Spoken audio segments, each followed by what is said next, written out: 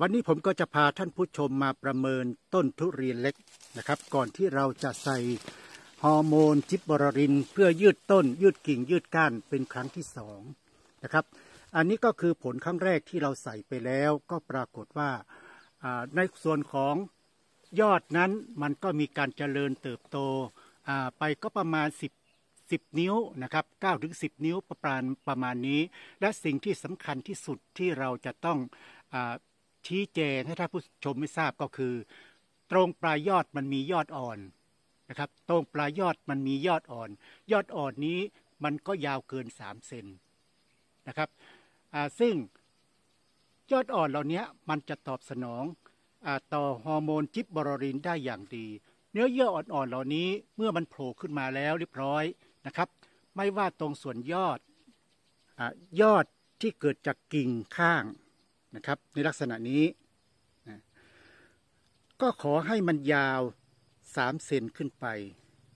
แต่ตรงนี้มันยาวเกิน3เซนแล้วนะครับ มันมีลักษณะยอดปลีออกมานะครับ ก็สอดคล้องกับคำถามของท่านผู้ชมว่า เมื่อไรเราจะใส่ฮอร์โมนอีกครั้งหนึ่ง ผมเคยตอบท่านผู้ชมไปว่าต้องรอให้ถึงรอบใบของมัน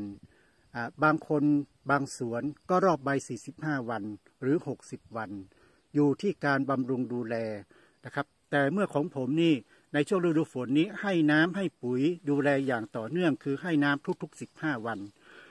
ก็ปรากฏว่ามันมียอดปลีผลิออกมาแล้วในลักษณะนี้นะครับ อันนี้เขาเรียกว่ายอดปลีนะครับอออกมาเป็นพวงยาวลักษณะนี้ ตรงยอดอ่อนของมันนี้นะครับ ก็มาจากตรงนี้ที่มาจากของยอดกิ่งยอดกิ่งข้างนะครับมาประเมินดูว่าในต้นทุเรียนเล็กเราเนี่ยพร้อมที่จะใส่จิบบรรินรอบที่สองหรือยัง ประเมินอยู่สองจุดนะครับจุดแรกก็คือกิ่งข้างที่ผมบอกไปแล้วนะครับจุดที่สองก็คือปลายยอด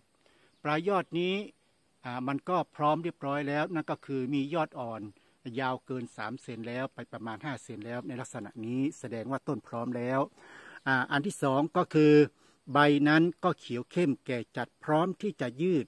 นะครับ ยืดยาว ยาวได้สองมิติก็คือในส่วนของอความสูงนะครับก็คือมาจากปลายยอดกับอีกส่วนหนึ่งนั้นก็มาจากกิ่งข้าง ในต้นทุเรียนเล็กนั้นเรามีเป้าหมายเพื่อจะผลิตต้นให้มีกิ่งก้านสาขา เยอะๆ ความสูงมากขึ้น กิ่งก้านยาวแผ่ไปมากขึ้น และก็มีใบกิ่งอบอ้วนนะครับตามมานะครับ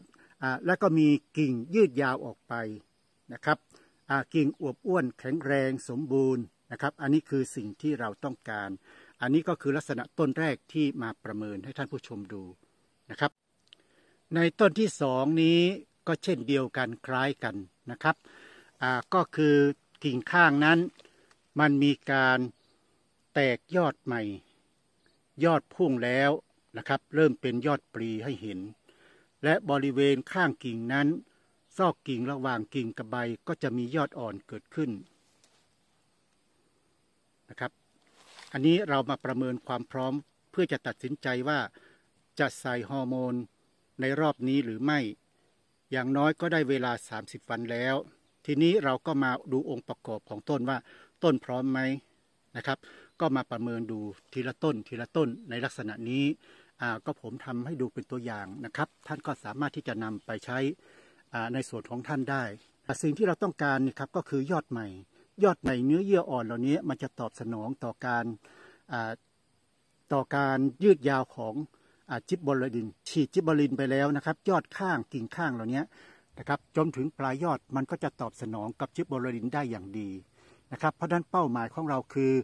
ยืดกิ่งข้างให้ยาว ยืดลำต้นให้สูง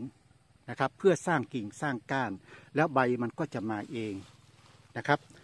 แต่เมื่อทำแล้วท่านผู้ชมอย่าลืมนะครับ ท่านผู้ชมจะต้องบำรุงดิน ให้มีอินทรีย์วัตถุ มีอาหาร ตอบสนองสำหรับรากที่มันจะพุ่งออกไปด้วย เพราะทุกครั้งที่เราใช้ฮอร์โมน ยอดมันก็จะยืดยาวออก มีจำนวนรากมากขึ้น รากแข็งแรงขึ้นนะครับ รากยาวขึ้น การหาอาหารก็จะมากขึ้นเช่นเดียวกัน เพราะฉะนั้นปัจจัยเอื้อจะต้องพร้อมด้วย นั่นก็คือ น้ำอาหารนะครับ อินทรีย์วัตถุเหล่านี้ต้องพร้อมด้วยนะครับ ถ้าหากว่าขาดน้ำดินขาดการบำรุงขาดการดูแลฮอร์โมนวิเศษอะไรก็ช่วยไม่ได้นะครับ วันนี้เป็นการใช้ฮอร์โมนจิบบรรินรอบที่สองนะครับ ที่เราจะใส่ตามรอบใบ เนื่องจากว่าเมื่อวิเคราะห์ดูต้นแล้ว ต้นพร้อม น้ำพร้อมนะครับ ทีนี้เราก็จะใส่อะไรใส่ทำไมนะครับอสองขวดแรกนี้นะครับดำดำเขียวเขียวนี่ก็คือน้ำหมักขี้วัวขี้ไก่นะครับ ท่านมีน้ำหมักอะไรก็ใช้อันนั้นขวดหนึ่งก็ 1.5 ลิตร ใช้ 2 ขวด 3 ขวดก็ได้ ท่านสามารถใช้น้ำหมักปลา น้ำหมักมูลข้างคาว น้ำหมักผลไม้อะไรก็ได้ หรือฮอร์โมนไข่ก็ได้นะครับช่วยปรับปรุงคุณภาพดินช่วยให้ดินมีคุณภาพช่วยให้มีความอุดมสมบูรณ์นะครับตัวนี้ก็สีฟ้าออกเขียวๆนี่ก็คือแคลเซียมโบรอน เนื่องจากว่ามันจะต้องมีการใช้ ฮอร์โมนนะครับ ยืดกิ่งยืดก้านยืดลำต้น ถ้าหากว่าขาดตัวนี้ก็จะทำให้กิ่งก้านมันอ่อนไม่แข็งแรง เพราะฉะนั้นเราจะต้องใส่แคลเซียมโบรอนไปด้วยนะครับตรงสีน้ำตาลตรงนี้นะครับก็คือฮิวมิกนะครับถ้าของใครเป็นสีดำก็เป็นลงสีน้ำตาลตัวนี้ก็คือฮิวมิกฟูลวิกนะครับเราก็จะใช้อยู่ครึ่งกิโลนะครับตัวที่ถุงสีเงินนี้ก็คือ อะมิโนสาหร่ายเราก็ใช้ครึ่งกิโลเช่นเดียวกันนะครับ ตัวเหล่านี้เป็นตัวที่ใช้บำรุงดิน ฟื้นฟูรากบำรุงรากนะครับช่วยให้กิ่งก้านลำต้นแข็งแรงเป็นปกติเสร็จแล้วอาหารของพืชที่เราจะต้องดูแลในระยะที่เรากระเร่งจะเร่งการเจริญเติบโตนี้สูตรปุ๋ยก็เป็นสิ่งที่สำคัญนะครับ เราก็ต้องศึกษาค้นคว้า ผมเองก็ไม่ได้คิดเองนะครับ ศึกษาค้นคว้าจากงานวิจัย ดลองใช้เมื่อใช้ได้ผลดีแล้ว ผมก็นำมาเผยแพร่นะครับ ก็ใช้ตรงสีขาวนี่ก็คืออตรงสีขาวนี่ก็คือยูเรียหรือ 4600 ใช้ 1 กิโลตรงสีน้ำตาลอ่อนนี้ก็คือปุ๋ยสูตรเสมอนะครับ ใช้อย่างละ 1 กิโลทีนี้ตัวนี้เราใช้มาเป็นตัวอย่างนะครับ เนื่องจากว่าเราได้ นำปุ๋ยตัวนี้ละลายน้ำนะครับล่วงหน้าแล้ว 1 คืนนะครับก็คือ 1กิโลนะครับ1กิโลที่ผมยกตัวอย่างให้ดูเนี้ยแช่น้ำไปท่านแล้วนะครับเนื่องจากว่าตัวนี้มันละลายยากละลายช้า การละลาย